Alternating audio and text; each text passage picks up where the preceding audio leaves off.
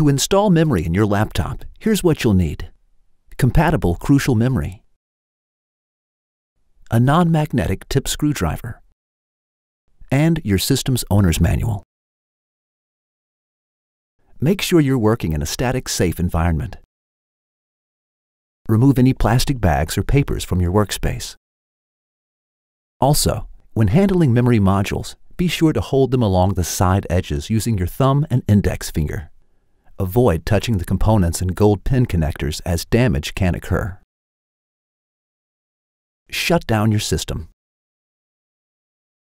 Once your system has been powered off, unplug the power cable, then remove the laptop battery.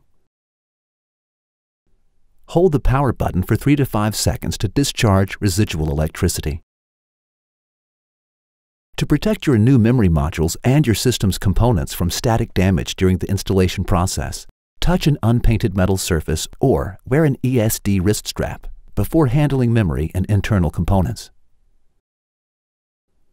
Locate and access the memory slots on your laptop using your owner's manual. Remove existing modules as needed.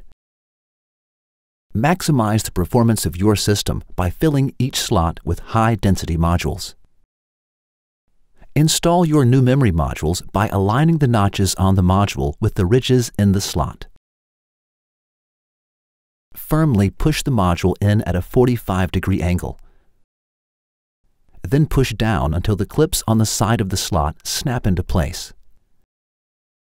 If in place correctly, only a thin portion of the gold pins, 1 16th of an inch or less, should be visible, about the width of a line of pencil drawn on a piece of paper.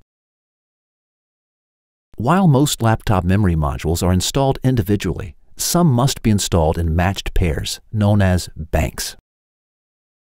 The memory banks should be clearly labeled, but consult your owner's manual to be sure. Once your new modules have been installed, reassemble your system and reconnect the battery. Installation is now complete.